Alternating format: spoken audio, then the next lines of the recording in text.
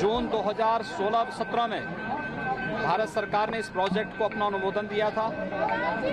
एक रिकॉर्ड समय में यह प्रोजेक्ट बनकर के तैयार हुआ है और 30 किलोमीटर लंबे प्रोजेक्ट को 5,503 करोड़ रुपए की लागत से बनाने में से सफलता प्राप्त हुई है।